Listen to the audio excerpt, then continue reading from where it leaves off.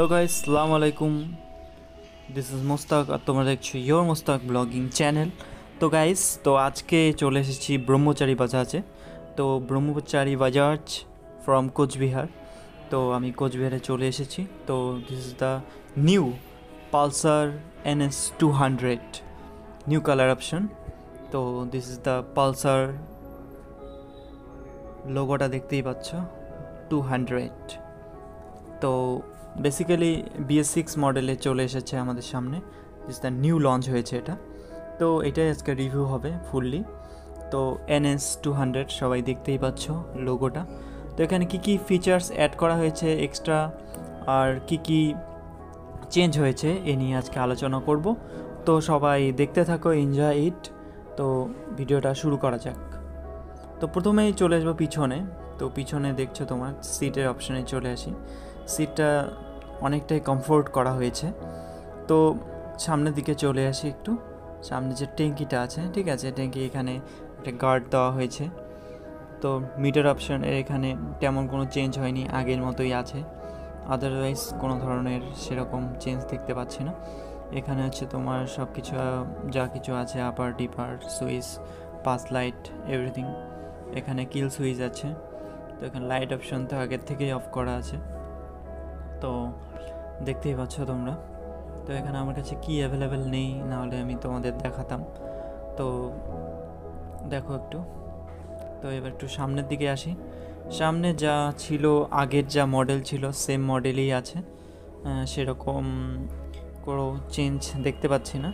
শুধুমাত্র কালারটা হয়তো চেঞ্জ হয়েছে। সকার যে আছে সকারটা আগের মতোই আছে। হুম, একটু হয়তো কমফোর্ট একটু হেভি বানানো হয়েছে। এখানে আছে যে হুইলটা আছে। হুইলটা কালারটা চেঞ্জ করা হয়েছে। এখানে বিএস সিক্স মডেলের এভিএস যুক্ত ব্রেকিং সিস্টেম অ্যাড করা হয়েছে।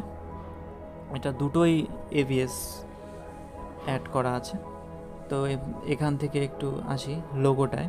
যে টু হান্ড্রেড লোগোটা আছে, হোয়াইট অ্যান্ড ব্লু কম্বিনেশন এত সুন্দর লাগছে মানে খুব সুন্দর লাগছে গাড়িটা আগের তুলনায়। এখানে যে এখানে কালারটা ব্ল্যাক ছিল, এখানে একটা হোয়াইট হোয়াইট কালারটা এখানে অ্যাড করা হয়েছে। তো দেখতেই পাচ্ছ তোমরা।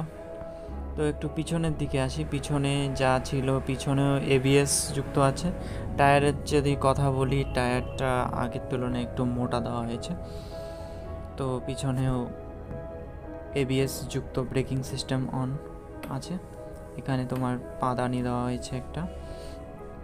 তো আগের তুলনায় পিছনের ব্রেক অনেক যথেষ্ট কমফোর্ট ফিল হবে, যতটুকু মনে হয়।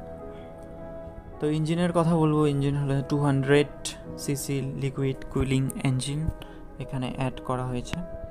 এখানে তার সাথে এখানে ইঞ্জিন ঠান্ডা করার জন্য এখানে একটা ফিল্টার অ্যাড করা হয়েছে।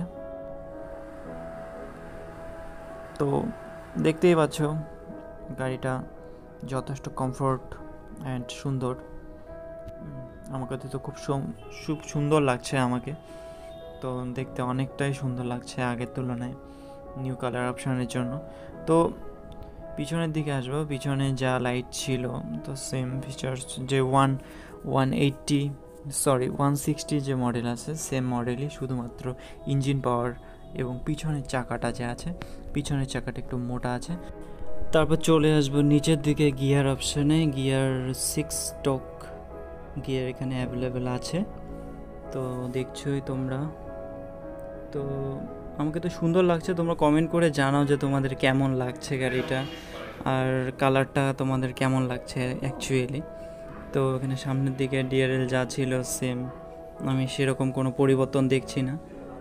শুধুমাত্র কালারটা চেঞ্জ হয়েছে আদারওয়াইজ যা ছিল তাই আছে।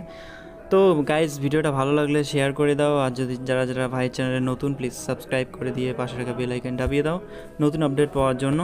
সো সবাই ভালো থাকো, সুস্থ থাকো। বাই